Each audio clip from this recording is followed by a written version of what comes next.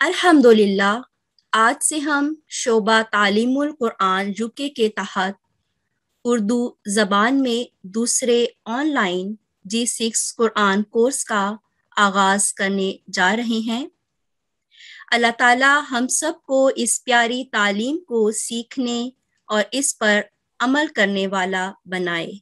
आमीन, सुम आमीन।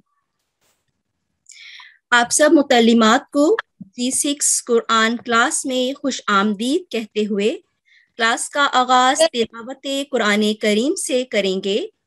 मैं एडमिन से दरख्वास्त करूँगी कि किसी मुतलिमा को माइक दें।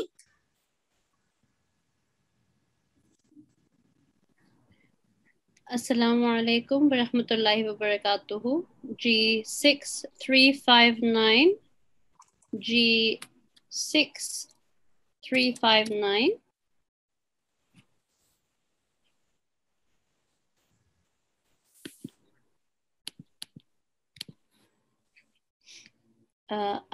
जी अस्सलाम वालेकुम।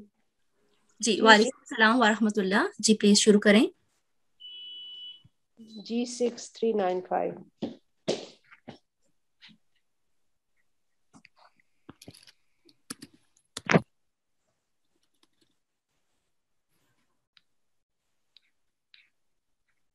जी एडमिन किसी और को प्लीज़ माइक दे दीजिए। Um, Assalamu alaikum G6 uh, G6313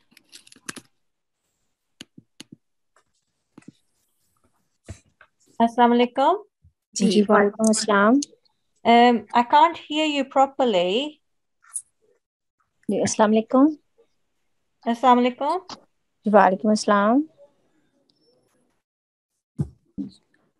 G6313.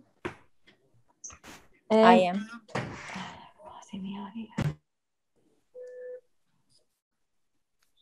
Assalamu alaikum. जी वालेकुम सलाम व रहमतुल्लाहि आपको मेरी आवाज़ आ रही है?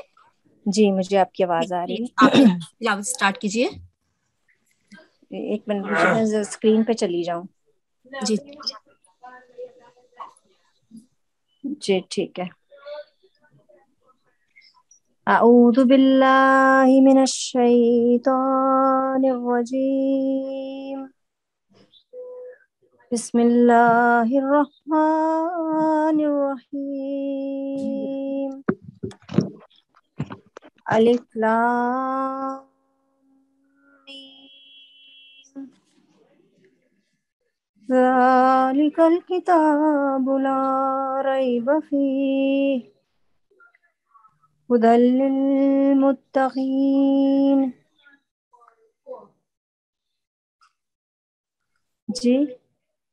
जी जी। अनल्लाहु आलमु।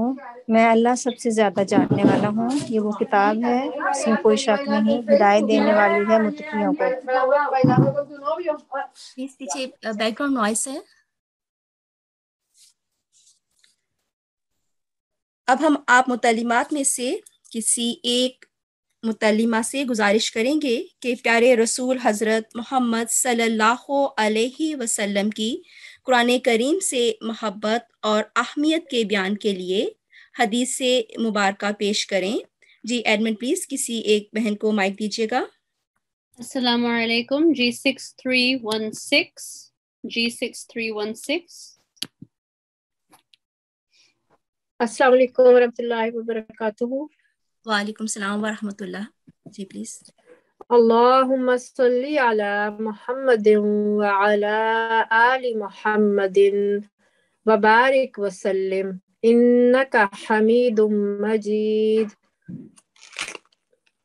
हज़रत उस्मान बिन अफ़ान रज़ी अल्लाह रिवायत करते हैं कि रसूलुल्लाह सल्लल्लाहु अलैहि वसल्लम ने इरशाद फरमाया, तुम में से बेहतरीन वो हैं जिन्होंने कुरान मजीद सीखा और उसे सिखाया।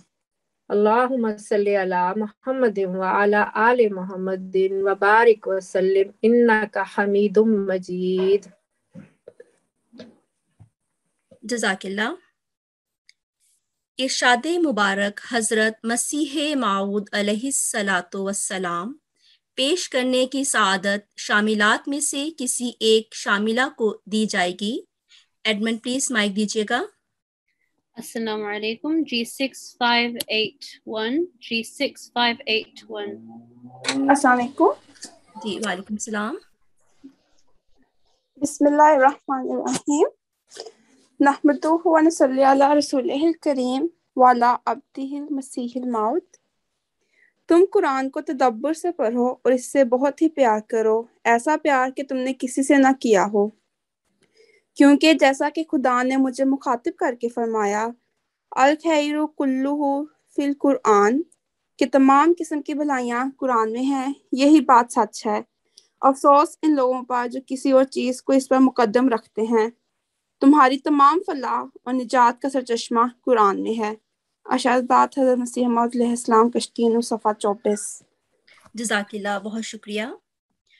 अब मैं नहायत अदब से मुहतरम हाफिज साहिब से गुजारिश करूँगी कि आप अपने मुफीद और कीमती नसाई से हमें आगाह करें।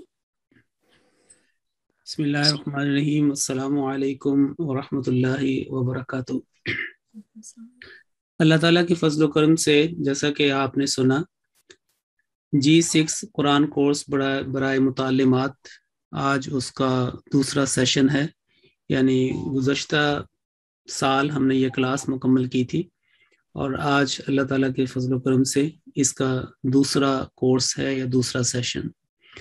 और इसमें शामिलात की तादाद जो है वो सैकड़ों में है, जो हमारे पास रजिस्ट्रेशन है, वो ओवर थ्री हंड्रेड थी। और चूँकि ये पहली क्लास है बाज़ात शामिल होने में कुछ लॉगिन में कुछ मसाइल हो जाते हैं, लेकिन इस वक्त भी आप देखें कि जो शामिलात या मुतालमत हैं वो एक सौ से जायद हैं। बहरहाल और इसमें सिर्फ़ यूके के नहीं बल्कि यूके से बाहर भी जिन्होंने भी जिनको भी इसका पता चला या इसमें जिनकी दिलचस्पी थी पिछली क्लास की वजह से या किसी भी हवाले से आ, दूसरे ममालिक से भी इसमें शामिल हो रहे हैं। और जैसा कि आपको पता है पिछली जो क्लास थी जी सिक्स की आ, ये नाजरा कुरान करीम की क्लास है। और नाजरा कुरान करीम जो है वो उलूम कुरान की सीढ़ी का पहला जीना है। यानी कुरान कुरान मजीद के जो उलूम हैं, वो तो उनका तो ला तादाद हैं। ये जितने मारूफ अगर आप देखा जाए दुनियावी एतबार से जिनके ऊपर रिसर्च हुई है या जो मुख्तलिफ़ बातें, किताबों में बयान हुई हैं उसमें जो पेपर रीडिंग है या नाजरा, वो पहला इसका जीना है। और अगर हम कुरान करीम के जो हिस्ट्री है, इसकी रेवलेशन की, इसकी जो वही नज़ूल की जो हमें तारीख पता चलती है तो उस रिवायत में ये बड़ी मशहूर रिवायत है और आप सबको यकीनन पता होगी कि सबसे पहले जब कुरान करीम का नज़ूल हुआ तो हज़रत जब्राईल अलैहिस्सलाम अल्लाह ताला के इज़्न के साथ नबी करीम सल्लल्लाहु अलैहि वसल्लम के पास तशरीफ़ लाए और वो पूरी रिवायत मौजूद है कि किस तरह गार हिरा में आपने नबी करीम वसल्लम के सामने हाजिर हुए और आपको कहा कि इकरा, पढ़ो। और आपका जवाब भी सारों को पता है किस तरह नबी करीम वसल्लम ने फरमाया कि माँ अना बेकारी कि मैं पढ़ने वालों में से नहीं हूँ, मैं मैं नहीं पढ़ता, मैं पढ़ने वाला नहीं हूँ। तो उसके बाद दूसरी मरतबा ये हुआ और तीसरी मरतबा का लिखा है कि वाक्य में आता है कि तीसरी मरतबा फिर आपने, जब उन्होंने कहा कि इकरा बिस्मी रब्बी का अल्लाह ताला के नाम के साथ और पूरी आयत की तो फिर आपने उसको फॉलो किया और उसको आपने दोहराया। तो पॉइंट ये मैं बताना चाहता हूँ कि लफ्स जो इस किताब का है, वो है कुरान जो प्रॉपर नेम है, जो इसका ख़ास, खासुल ख़ास जो इसका इसम है, इस रेवलेशन का, इस वही का, जो नबी करीम सल्लल्लाहु अलैहि वसल्लम में इस शरीयत के तौर पर जो ये किताब नाजिल गई, की गई, इसका नाम कुरान है। और पहला जो लफ्स है इकरा, इसी के अंदर ये पैगाम था कि ये वो किताब हम दे रहे हैं जो बहुत ज़्यादा पढ़ी जाएगी और बतौर इबादत पढ़ी जाएगी और मुख्तलिफ़ हवालों के साथ इसको पढ़ा जाएगा। अगर अब अभी इकरा की बात हुई है तो हम देखते हैं कि पुराने करीम जब नाजिल होता था तो आप सबसे पहले आप उसको हिफ्स करते थे। जो भी आयात नाजिल हुई, आपने पहले आपके कल्ब मुताहर ने पहले उसको हिफ्स किया। फिर आपने उसी तरीके से एक एक हर्फ, एक एक लफ्ज जाके अपने सहाबा को बताया और जो उनमें से माहरीन थे, कलम के लिखने वाले थे, जो उस जमाने में तो बहुत ही थोड़े होते थे, गिनी गिने चुने अफराद थे। बहरहाल, बिल्कुल शुरू से ही अल्लाह ताला ने उसका इंतज़ाम किया, वो ऐसे लोग भी आपके सहाबा में शामिल हो गए, जिन्होंने इस वही को लिखा। और जैसा कि आप जानते हैं कि ये फिर तेरह साल तक मक्का में नाजिल होती रही, फिर इसके बाद जब माइग्रेशन हुई है और दस साल का अरसा आपकी वफात तक, जो तकरीबन अब यूँ समझें कि तेईस साल कहा जाता है कि बाईस साल पाँच माह, दस दिन, यानी कि साढ़े बाईस साल तकरीबन जो है, ये कुरान करीम का नजूल हुआ। और जैसे नजूल हुआ, आपने उसको पहले हिफ्स किया, फिर आपने उसको लिखवाया और दूसरों को भी हिफ्स करवाया। तो एक दिलचस्प बात यह है कि अगर हज़रत जब्राईसम इकरा को आपने दो तीन मरतबा दोहराया और बाद की सारी वही जो है, वो नाजिल हुई और बार बार रिपीट भी हुई, क्योंकि ये कहा जाता है और ये हदीस में मौजूद है कि हर रमदान में नबी करीम सल्लल्लाहु अलैहि वसल्लम जितना भी कुरान करीम नाजिल होता था, उसको दोहराते थे। और जिस साल आप सल्लल्लाहु अलैहि वसल्लम की वफात हुई, आपने इसको दो मरतबा अल्लाह ताला की इज़्न के साथ, हज़रत जब्रील के साथ दोहराया। और दो हिजरी में, यानी कि ये रमज़ान आया है, मदीना में। तो वहाँ से अगर आप करें तो कम अज़ कम सात आठ साल जो है ये दोहराई जारी रही और आखिर में तो दो मरतबा जैसा कि मैंने अर्ज़ किया।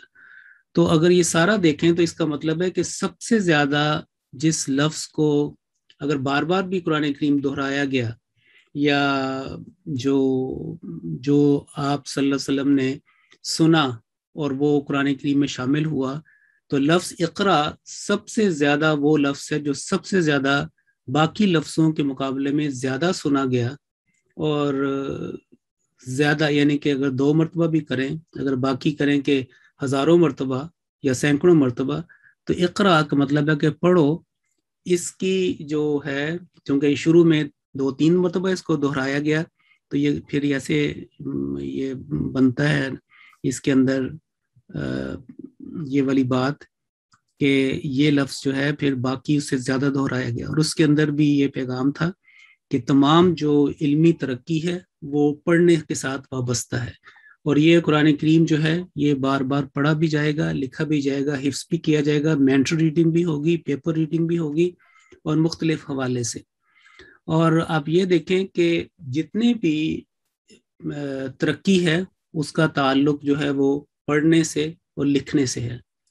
तो अल्लाह ताला ने तो पहली वही में आप ये देखें कि दोनों का ज़िक्र कर दिया।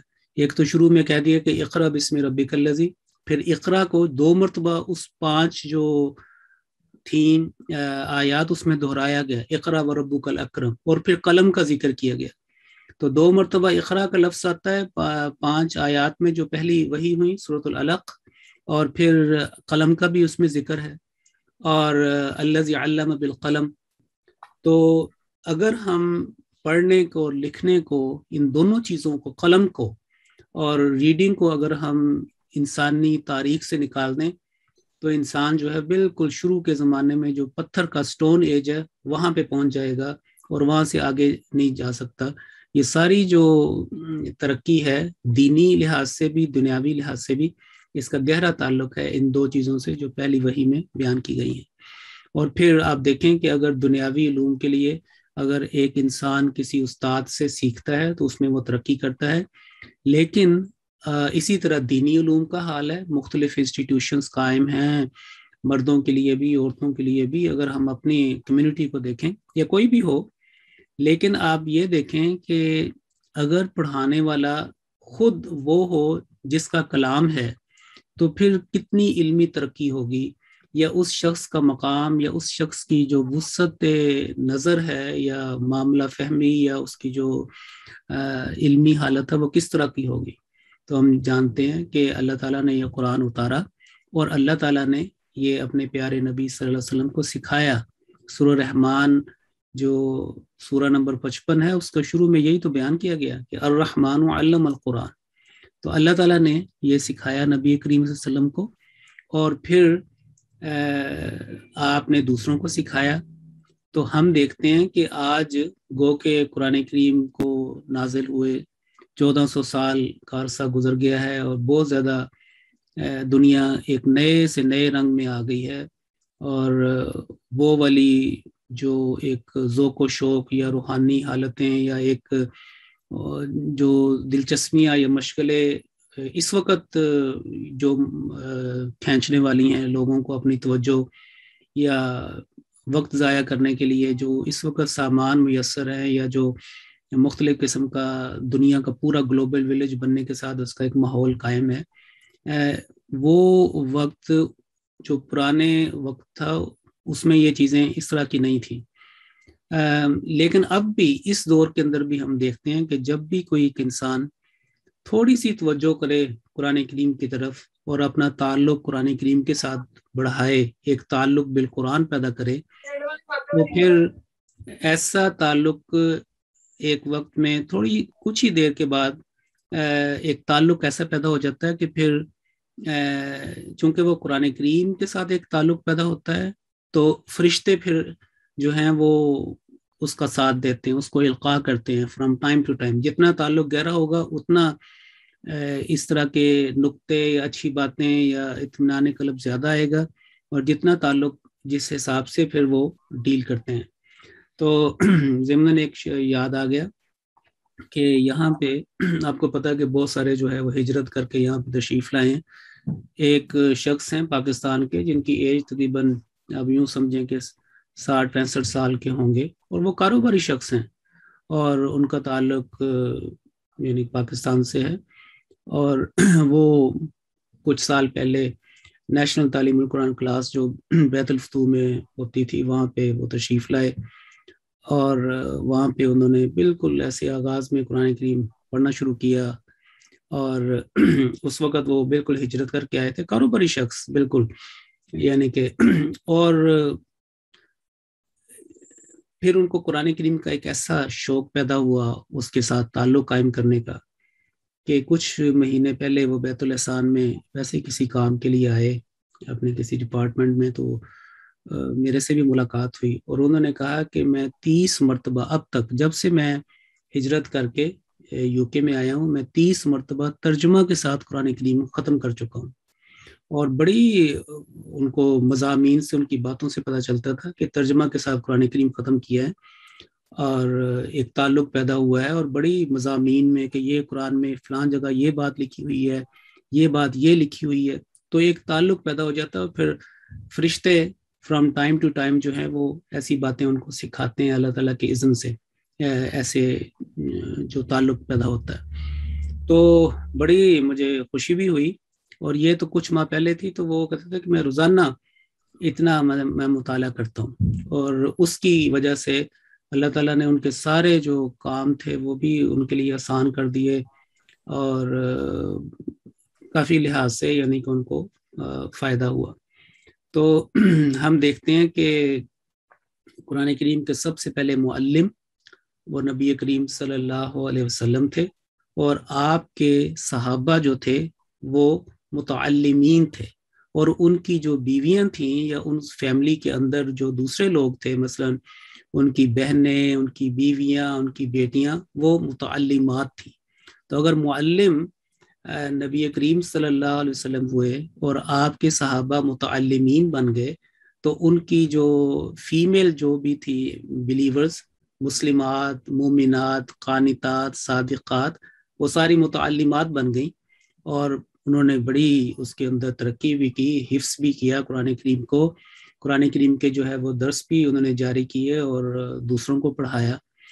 तो हम देखते हैं कि नबी करीम वसल्लम, आपके सहाबा, आपके खुलफा खुलफा राशिदीन, उनका ताल्लुक बिल कुरान, फिर दरमियान में जो अल्लाह ताला ने बहुत सारे सुलहा पैदा किए, बहुत सारे जो कुरान करीम के खादमीन और आशिकीन पैदा किए, और फिर जो ख़ातमखलफ़ा हज़रत मसीह मऊदलाम तशरीफ़ लाए और आपके साथ फिर खिलाफत अलामिन हाज नबूआ की जो पेश गोई है, वो पूरी हुई और होती चली जा रही है।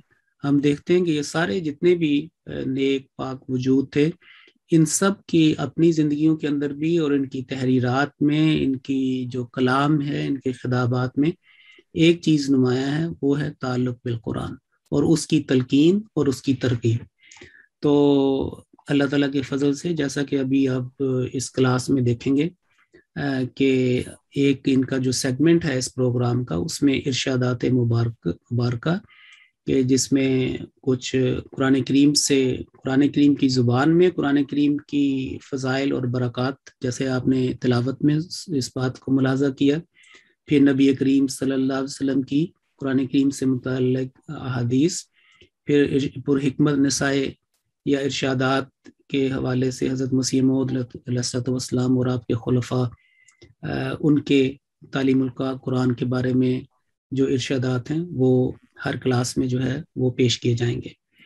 और इस क्लास का एक बहुत बड़ा मकसद ये भी है कि एक तो ये है कि हमारी मुतालिमात, जैसे कि मैंने फैमिली में बताया कि कोई जो है, एक फैमिली है, उसमें सिस्टर्स भी हैं, डॉटर्स भी हैं और अजवाज भी हैं अपने अपने दायरे में। तो सारे किस्म के लोग जो हैं मोमिनात, कानतात, सादिकात में ऐसे होते हैं, जैसे मैंने आपको साहबा की मिसाल दी थी।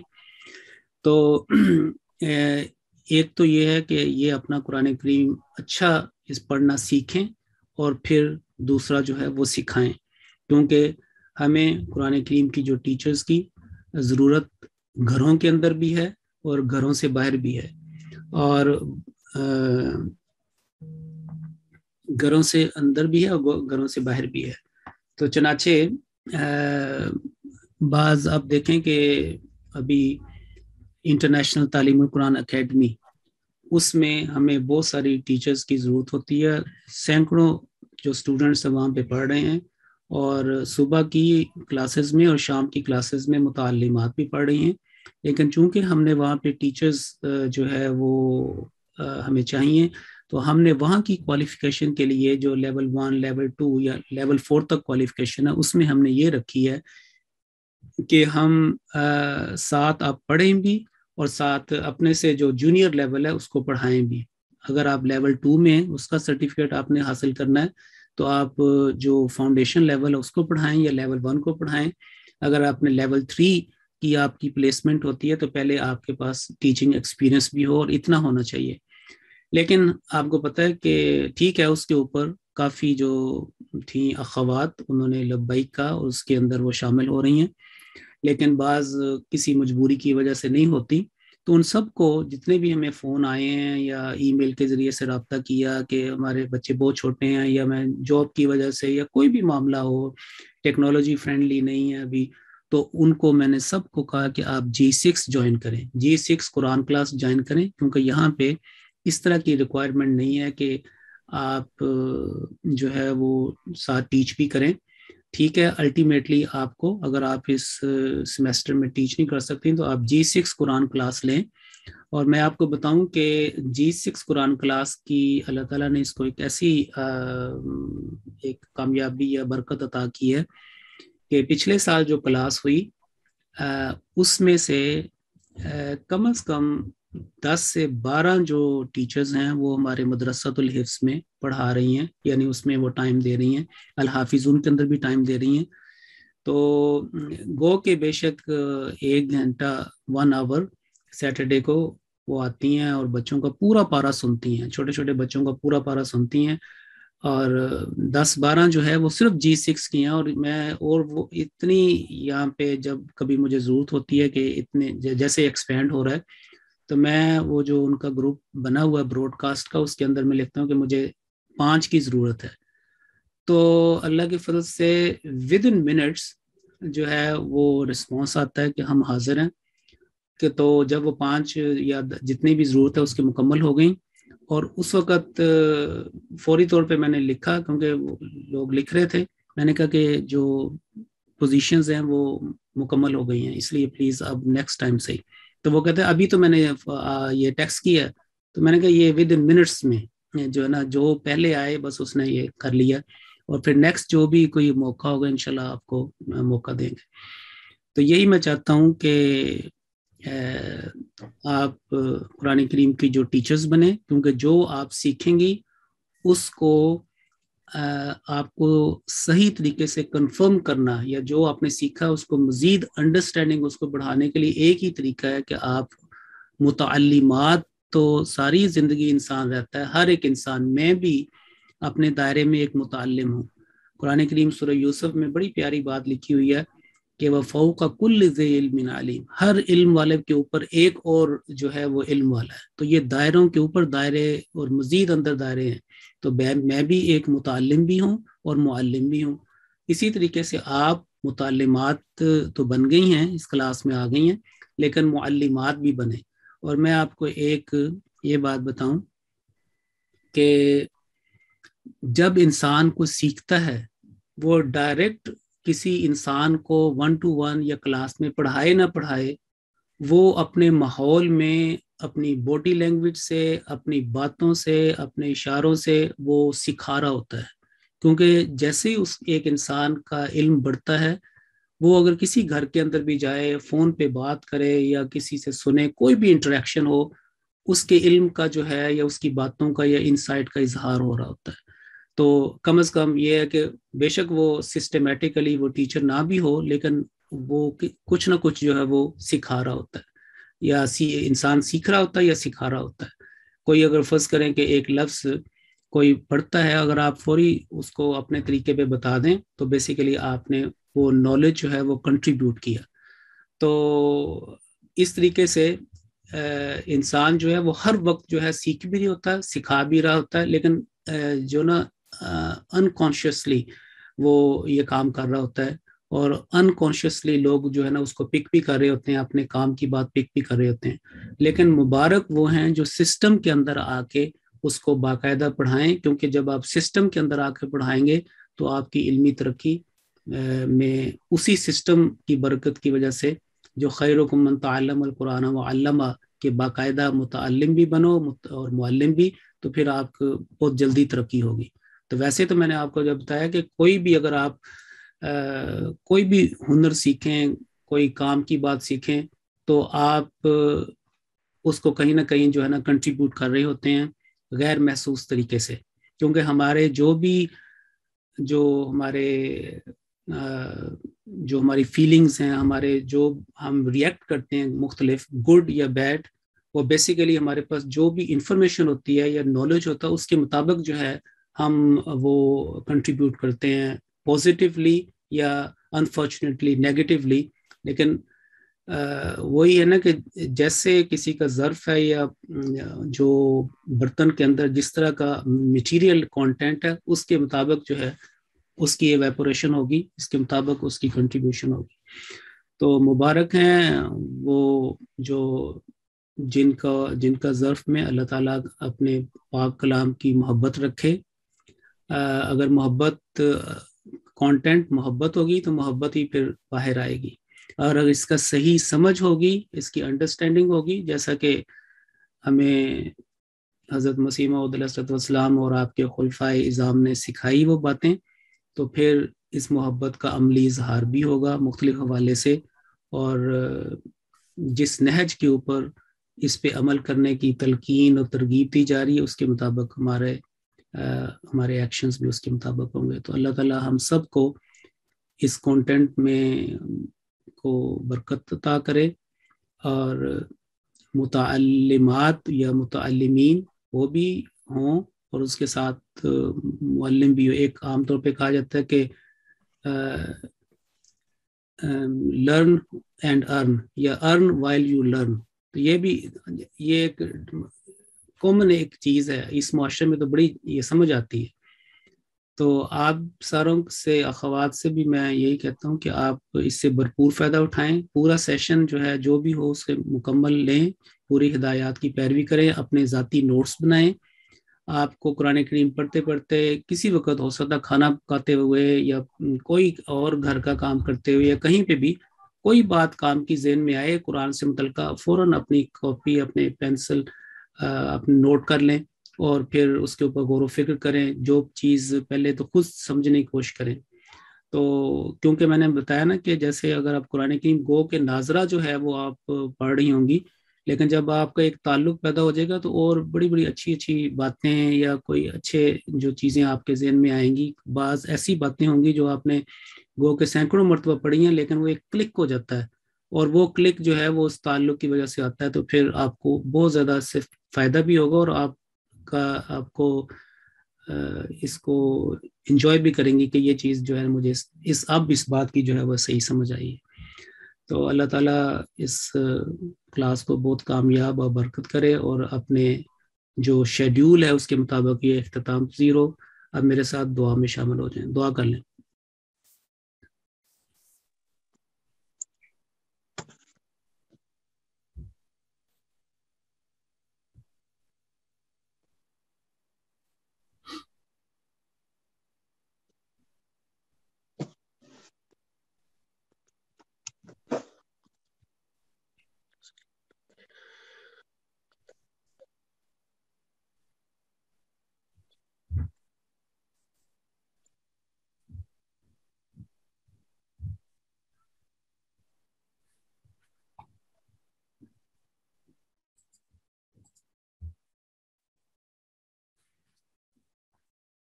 रब्बाना तक़ब्बल मिन्ना इन्नका अंतस समीउल अलीम जज़ाकल्लाह आमीन आमीन मैं आपसे इजाज़त लेता हूँ। अब आपकी जो इंचार्ज साहबा हैं और एडमिन वो इस क्लास को बाकी जो वक्त है वो करेंगी। मेरी तरफ़ से अब अस्सलाम वालेकुम वरहमतुल्लाहि बरकातुहू हाफिज़ साहब बहुत शुक्रिया।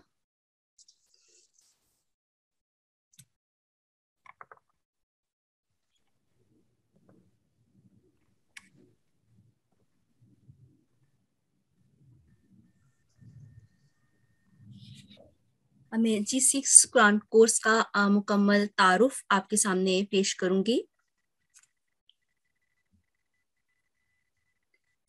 अरबी एक इलाही ज़ुबान है, जिसमें कुरान करीम नाजिल फरमाया गया। और हमारा ये फ़र्ज़ है कि हम कुरान करीम को दुरुस्त तलफ़ के साथ तिलावत करने की हर मुमकिन कोशिश करें, ताकि इस पाक वही को वो इज़्ज़त और इजाज देने की तोफीक पाएँ, जिसकी ये किताब मुतकाजी है। कुरान करीम का तलफ़ सीखना और सिखाना उलूमुल कुरान के मुबारक सफ़र में पहले कदम का दर्जा रखता है और कुरान करीम को सेहत तलफ़ के साथ तिलावत करने और इसके माना समझने की याद दहानी हमें कुरान करीम अहादीस रसूल सल्लल्लाहु अलैहि वसल्लम कलाम हज़रत मसीह माऊद वसलाम और आपके खुलफा के इर्शादात में मुतद जगह मिलती है। इसलिए इस कोर्स में इब्तदा से कुरान करीम पढ़ने और सीखने के लिए इसबाक निहायत आसान अंदाज में तैयार किए गए हैं। दुआगो है कि ये कोर्स कुरान करीम की तिलावत को सही तलफ़ के बुनियादी उसूलों पर सीखने वालों के लिए फायदामंद साबित हो।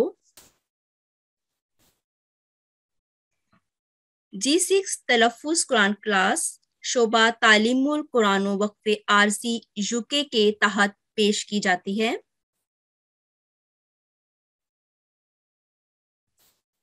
ये class G six class G one से जी टेन तक है।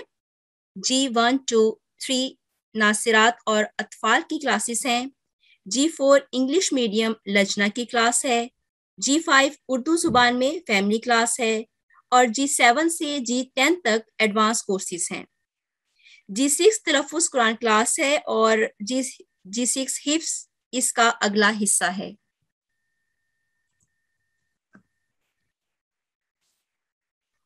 जी सिक्स क्लास तिलावत कुरान करीम को बेहतर बनाने की क्लास है, जो कि पंद्रह हफ्तों का कोर्स है और आज से शुरू होकर 20 दिसंबर तक जारी रहेगा। ये क्लास हर सोमवार और जुमारात को शाम सात बजे से लेकर आठ बजे तक पेश की जाएगी। ये उर्दू जबान में आसान तरीक पर तैयार की गई हर उम्र की लचना की क्लास है। क्लास का आगाज़ असेंबली से होगा। कुरान करीम की बरक़ात और खूबियों से मुतलक पुरानी आयात, अहादीस आप मुतलिमात से क्लास में पेश करने की दरख्वास्त की जाएगी, ताकि ज़्यादा से ज़्यादा पुरानी ूम से हम इस्तेफादा कर सकें।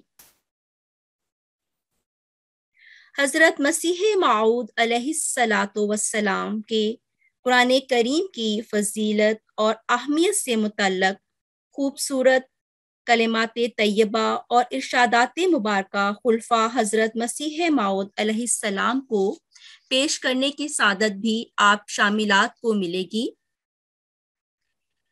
ये पुरमारफ अल्फाज हमारे लिए कुरानी के माना समझने में यकीनन मददगार साबित होंगे। इस पाक कलाम को पढ़ने के कुछ ज़रूरी आदाब हैं। इस सिलसिले में हमारी एडमेंट्स इस तरफ़ याद दहानी करवाने के साथ साथ क्लास से मुतलक भी चंद ज़रूरी हदायत दुरानी क्लास पेश करेंगी, ताकि हम एक अच्छे और पुरसकून माहौल को कायम रखते हुए इस इल्म को सीखें और समझें। फिर अजमत कुरान के उनवान से हमारा बहुत दिलचस्प सेगमेंट होगा, जिसमें कुरान करीम से मुतलक मालूम और सूरा का मुख्तसर तारुफ पेश किया जाएगा और आसान सवालों जवाब के ज़रिए ज़रूरी और छोटी छोटी मालूम को जहन नशीन करने का मौका मिलेगा और साथ साथ खूबसूरत अशार का सिलसिला भी जारी रहेगा। कवायदुल तरतील के उनवान से सेहत तलफ़ के बुनियादी उसूल, बाजरिया, अमसाल कुरानिया पेश किए जाएँगे। और मुराजातुल कवायद के उनवान से गुजशत असपा की दोहराई का सिलसिला भी जारी रहेगा। तदरीबुल कवायद के उनवान से हमारा सेगमेंट होगा, जिसमें हम सिखाए गए बुनियादी उसूलों की प्रैक्टिस करेंगे। इसके लिए इस बार सूरतुल फातिहा और सूरतुल मुमिनून हाफिज साहब ने तजवीज़ फरमाई है। आपकी अटेंडेंस का बाकायदा रिकॉर्ड रखा जाएगा, इसलिए क्लास बाकायदगी से अटेंड करें और अपनी दुरुस्त आईडीज के साथ क्लास में दाखिल हों, ताकि रिकॉर्ड बनने में आसानी रहे। इसके साथ साथ जो मुतलिमात पार्टिसिपेट करेंगी, उनका भी एक रिकॉर्ड रखा जाएगा, ताकि सब बहनों को मौका मिल सके। क्लास की 80 फ़ीसद हाजिरी और बेहतरीन तलफ़ सीखने वाली और वक्फ़े आरसी मुकम्मल करने वाली मुतलिमात को शोबा तालीमुल कुरान की जानब से सर्टिफिकेट्स और किताब अरसाल की जाएगी। जी सिक्स तलफ़ कोर्स के बाद जी सिक्स हिफ्स भी शुरू किया जाएगा, जिसकी मजीद तफसील जी सिक्स हिफ्स की इंचार्ज साहिबा और मुहतरम हाफिज साहिब दौरान कोर्स बताएँगे।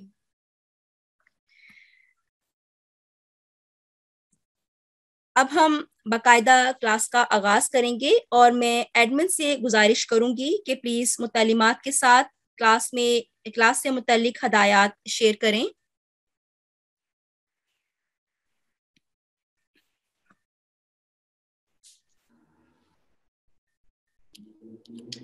असलकम वरहमतुल्लाहि वबरकातुहू। कुरान क्लास के आदाब। कुरान करीम अल्लाह ताला की एक मुकद्दस किताब है। इसलिए इस प्यारी किताब को पढ़ने के ज़रूरी आदाब हैं, जैसे बावजू होना, तिलावत कुरान करीम के दौरान सर को ढांपना, पाक व साफ़ लिबास, ऐसी जगह का इंतखाब जो पाक व साफ़ हो, जहाँ शोर ना हो और जहाँ रोशनी और हवा मुनासिब हो, ताकि कुरान करीम पढ़ते वक्त कोई दिक्कत ना हो। तिलावत कुरान करीम से पहले तावुज़ ज़रूर पढ़ें।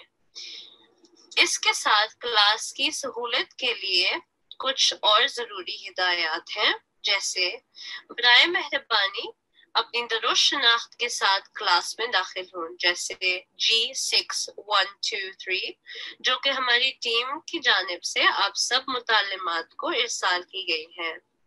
सिर्फ़ ज़रूरत के वक्त हाथ खड़ा करने के इख्तियार को इस्तेमाल करें और आप सबसे नहायत अदब के साथ गुजारिश है कि क्लास के दौरान अपना माइक और कैमरा बंद रखें और अपनी बारी पर ही अपना माइक ऑन करें। जजाकमुल्ला जजाकिल्ला बहुत शुक्रिया। अब मैं अपनी आ, साथी टीचर से गुजारिश करूँगी कि वो कवायदुल तरतील में जो चंद ज़रूरी बुनियादी उसूलों की वजाहत पेश करें.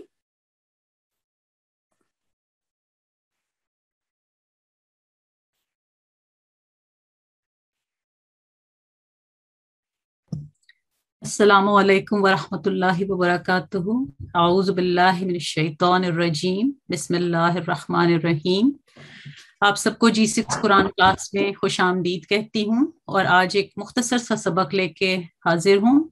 जिसमें मैं आपको कुछ गलतियाँ हैं, बुनियादी गलतियाँ हैं, जो कुरान करीम की तलावत के दौरान हमसे हो जाती हैं तो उनकी, उन गलतियों की निशानदेही करना और उनकी ज़रूरत इसलाह, यानी उनको इसलाह की ज़रूरत क्यों है, इस तरफ़ आपको थोड़ा सा मैं तवज्जो दिलाऊँगी।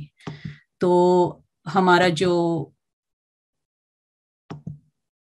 तिलावत कुरान करीम में जो मैंने आपको बताया कि गलतियों की निशानदेही करनी ज़रूरी क्यों है? तो इसमें याद रखें कि कुरान करीम में गलतियाँ जो हो जाती हैं हमसे, गैर तौर पर, उनकी दो बड़ी किस्में हैं।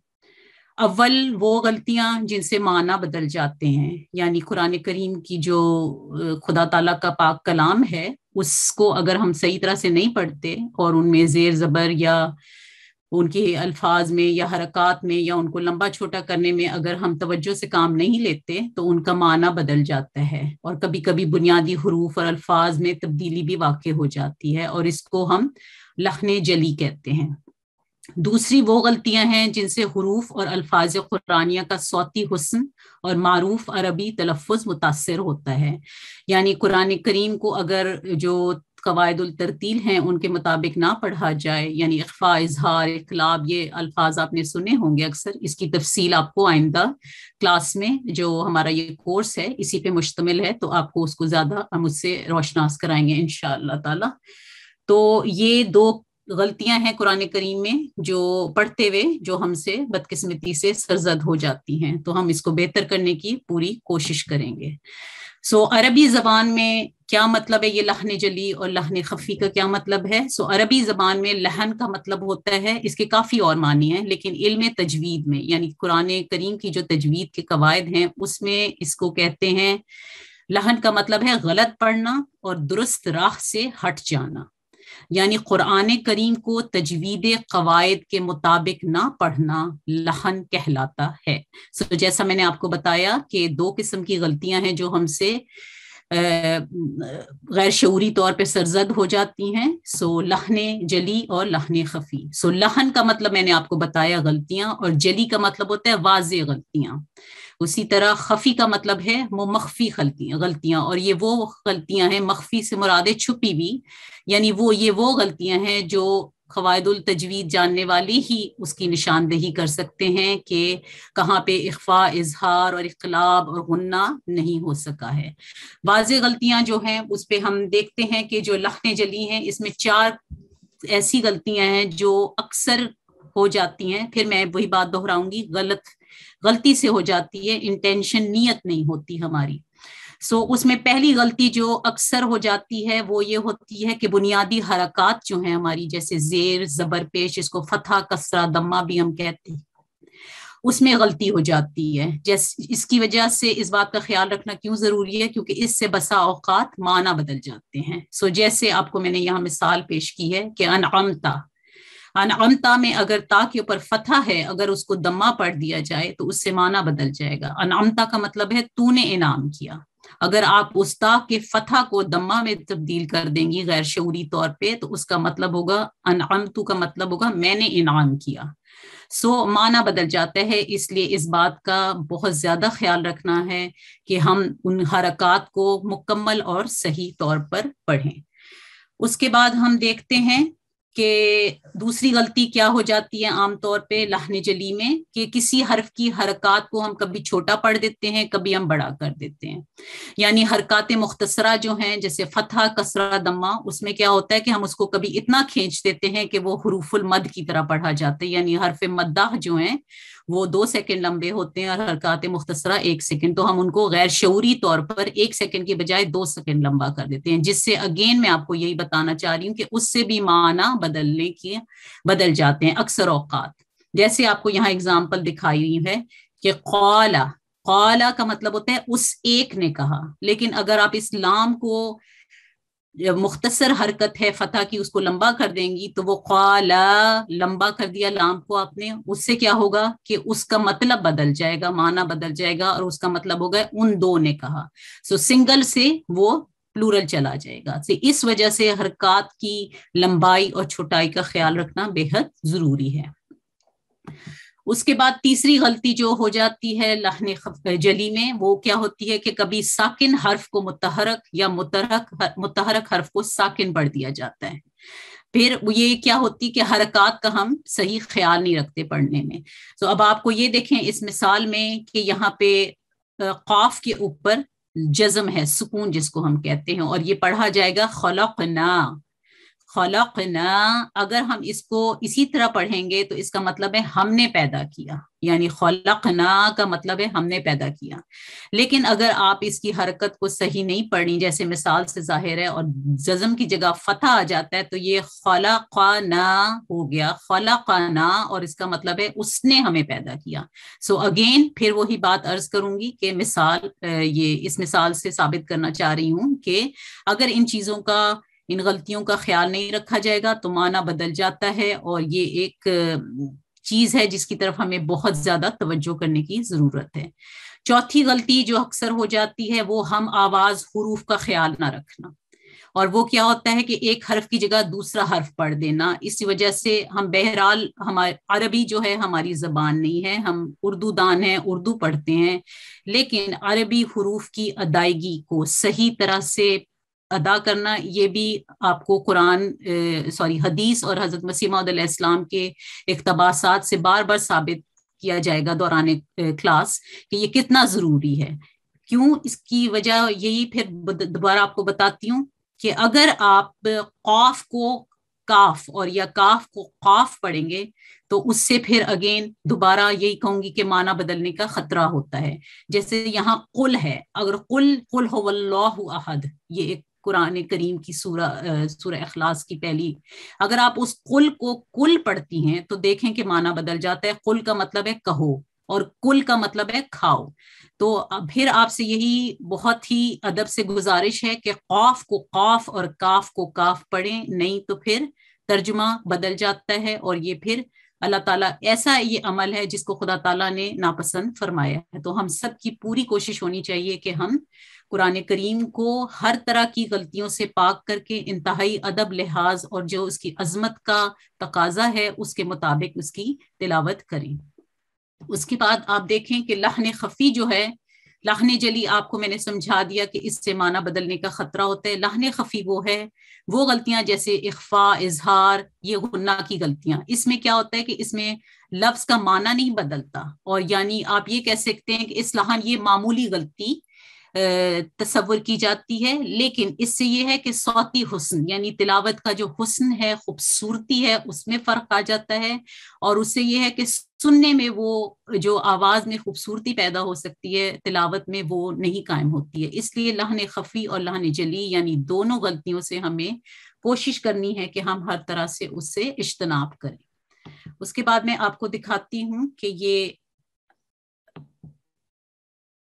अगर आप मुझे कोई कंफर्म कर दें कि आपको मेरी स्क्रीन नज़र आ रही है कोई जी जी। जी। दूसरी स्लाइड नहीं अभी फ़र्स्ट वाली है। अब आ गई? नहीं। जी जी आगे। जी ठीक। सो so, एक मुख्तसर सा आपको और भी बताऊँगी कि दौरान क्लास जो है हमने क्या और सीखना है और उससे फिर आइंदा उसको सीख के हमने उसको प्रैक्टिस भी करना है। कि 20 ऐसी गलतियाँ हैं जो अमूमन कुरान करीम की तलावत में हमसे फिर जो है गैर शूरी तौर पे मैं कहूँगी कि सरजद हो जाती हैं, जो मैंने आपको पहले बता दिया है। एक गलती का भी बताया, जो लखन जली कहलाती है, यानी वो, जो वाज गलती है, वो कि फतह वाले हर्फ को एक सेकंड से ज़्यादा लंबा करना, यानी काफ के ऊपर फतह है सिर्फ़ एक सेकंड, का, काताबा, इसको काताबा पढ़ेंगे, वो गलत है। बला बस एक सेकेंड लंबा करना है, इसका इंतहाई ख्याल रखें, उसी तरह कसरा वाला हर्फ है, उसको भी सिर्फ़ और सिर्फ़ एक सेकेंड लंबा करना है, जैसे आपने यहाँ मिसाल में देख लिया, शरीबा, श और री और बा, इनके ऊपर तो हरकत मुख्तसरा हैं, इनको प्लीज़ हमने लंबा नहीं करना है। लबिसा बला दी, बस इतना ही लंबा करना है एक सेकेंड के लिए।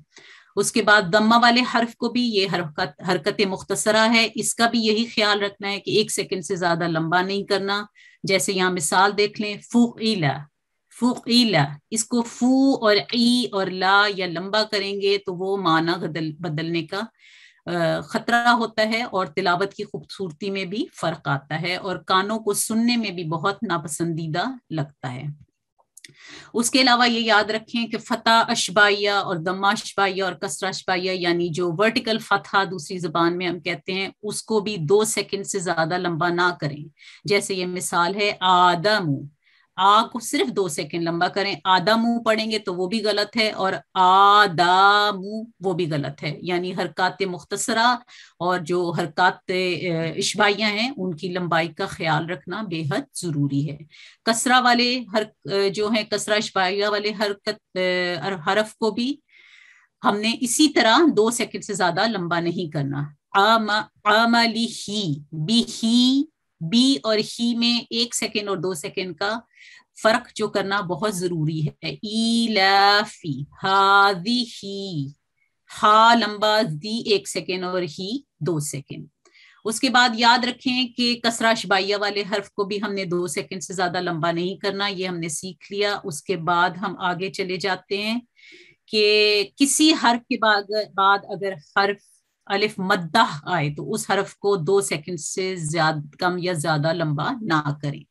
यानी हरफ मद्दा ये भी आप सीखेंगे कि अलिफ, वाव और या हरूफुल मद हैं, और उनको अलिफ मदिया, वाव मदिया और या मदिया कहते हैं, जो आइंदा क्लासेस में आपको उससे हम दोबारा रिपीट करेंगे रिवाइज करेंगे इनशाला सो इसमें भी देखें कि यहाँ हाईलाइट हुआ है, या ई या का नहीं पढ़ना, वो गलत है। ला रोईबा ठीक है, ये अलिफ जो मद है, अलिफ मद्दा इसको दो सेकंड लंबा करना बेनतहा ज़रूरी है। उसके बाद हम देखेंगे कि वाव मदिया के साथ जो हरूफ आते हैं, उनको भी हमने दो सेकंड लंबा करना है। ये लेटर्स ऑफ़ इलोंगेशन कहलाते हैं और हरूफुल मद कहते हैं उर्दू जबान में। जैसे ये आप देख लें, कौफ के ऊपर दम्मा है और आगे वाव के ऊपर सुकून है, इसलिए कू दो सेकेंड। आमनू। जरू कानू कफरू। बस दो सेकंड से ज़्यादा लंबा नहीं होना चाहिए।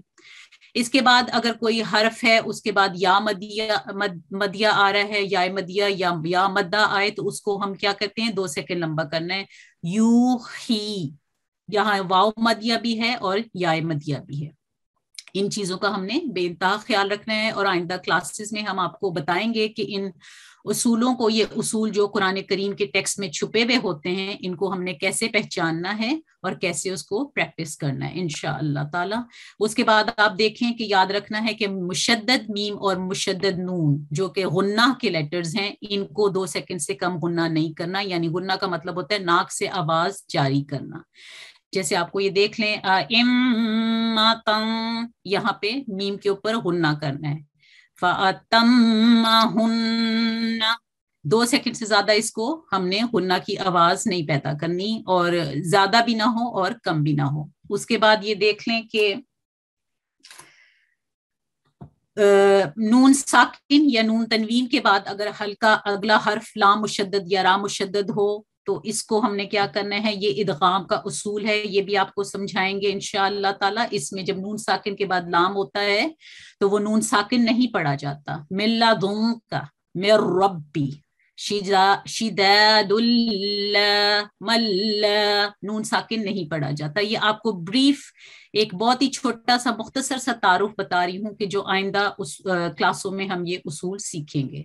उसके बाद आप देखें कि नून साकिन या नून तनवीन। यहाँ नून साकिन है और यहाँ तनवीन का है ड्रा के ऊपर तनवीन है। अगर इनके बाद अगला हर्फ या मुशद्दद हो या वाव मुशद्दद यहाँ पे ये देखें, ये अगेन इदगाम का असूल है, जो हम इंशाअल्लाह ताला फिर सीखेंगे। यहाँ पे इसको आधा पढ़ा जाता है, नून को इसको क्या कहा, लिखा हुआ है, नून साकिन या नून तनवीन के बाद अगला हर्फ, या मुशद हो या वाव मुशद्दद हो तो मिलाते वक्त दो सेकंड गुन्ना अदा करें, नाक से आवाज़ जारी करना। माई मीनू मिम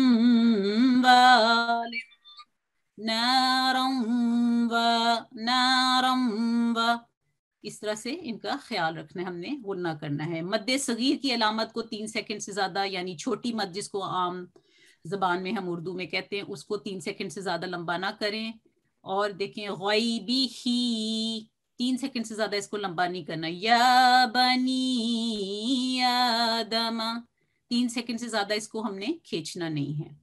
उसके बाद मध्य कबीर की अलामत हैं, इसको हमने तीन से पाँच सेकेंड, कम अज कम चार सेकेंड या मैक्सिमम सात सेकेंड भी कहते हैं। डिफरेंट स्कूल ऑफ़ थॉट है, जितनी आपकी आवाज़ खींचे, लेकिन एक मुकम्मल फ़र्क होना चाहिए मध्य कबीर और मध्य सगीर की अदायगी में। अलहातु वसफतु उसके अलावा थोड़ी सी और उसूल आपको बता देती हूँ कि एक हरकत को दूसरी हरकत से ना बदलें, ये भी हमने सीखा है अभी, उससे माना बदल जाते हैं। उसके बाद आप देखें कि हरकत और अलामत से खाली हरूफ को तलफ़ में शामिल नहीं करना, इसकी बेहतरीन मिसाल आपको उला इसको अक्सर उला पढ़ देते हैं, ये वाव नहीं पढ़ा जाएगा, इसका ध्यान रखना है हमने।